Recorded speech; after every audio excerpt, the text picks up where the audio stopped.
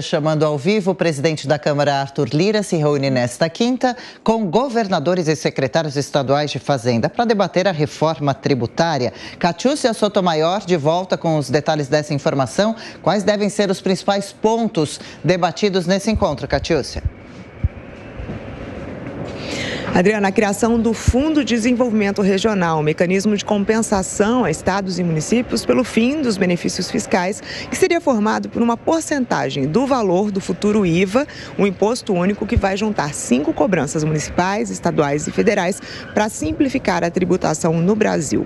Ontem, Arthur Lira disse em um encontro da Confederação Nacional da Indústria, em que ele participou juntamente com Rodrigo Pacheco, presidente do Senado, e o ministro da Fazenda, Fernando Haddad, para discutir os desafios políticos da reforma tributária, que era preciso analisar especificidades dos setores e que, mesmo que todos tenham uma reforma ideal, o objetivo, segundo Lira, é fazer uma reforma possível, que simplifique, que desburocratize e que traga segurança jurídica.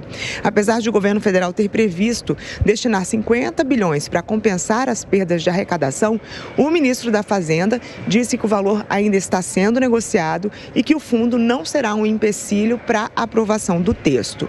Lira declarou que a proposta final será liberada após a reunião de hoje com os governadores, que está marcada para as nove e meia da manhã na residência oficial da presidência da Câmara. Há dúvidas sobre unificação dos impostos, a gestão compartilhada do tributo e as alíquotas tributárias por setor.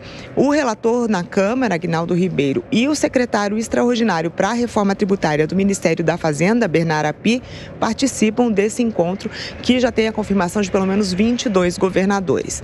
O presidente da Câmara também já anunciou que o tema entra em pauta antes do recesso parlamentar, ou seja, no comecinho de julho. É isso, e a Jovem Pan, é claro, acompanha. Agora, Catiúcia, o senador Marcos Duval pediu afastamento das atividades parlamentares, alegando problemas de saúde, ele que vem se envolvendo em algumas polêmicas. Dessa forma, o senador fica afastado também da CPMI do 8 de janeiro, Catiúcia? Exatamente isso, Adriana. A nota da assessoria informou a licença da atividade parlamentar por orientação médica. Ele teria tido um mal-estar na terça-feira e aí pediu então esse afastamento. O senador poderá ser substituído é, por Marcos Rogério, do PL de Roraima, nas de Rondônia, desculpa, nas reuniões da CPMI dos atos de 8 de janeiro que acontecem no Congresso Nacional. Uma, inclusive, está marcada para daqui a pouco.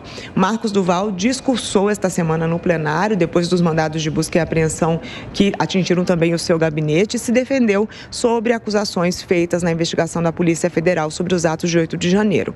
A licença é de 115 dias, o que evita que a suplente dele ocupe o cargo. Isso só ocorre com afastamento por mais de 120 dias. Daqui Adriana? a pouco, outras notícias de Brasília com a Catiúcia Sotomayor. Bom, a gente